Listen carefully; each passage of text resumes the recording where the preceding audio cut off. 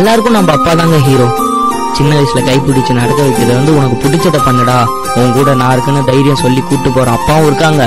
இந்த மாதிரி வார்த்தைக்காக எங்கிற பசங்களும் நிறைய பேர் இருக்காங்க. நம்ம அப்பா அம்மா எப்பவுமே யார்கிட்டயும் நம்மள விட்டு கொடுத்தது இல்லைங்க.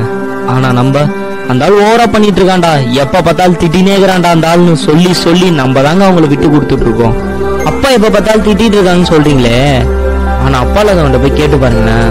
அந்த வார்த்தையை கேட்க முடியாம எவ்வளவு கஷ்டப்பட்டுட்டு இருக்காங்கன்னு தெரியும். சோ அவங்க இல்லாத போது கஷ்டப்படுறத விட அவங்க இருக்கும் போதே சந்தோஷமா வச்சுக்கோங்க.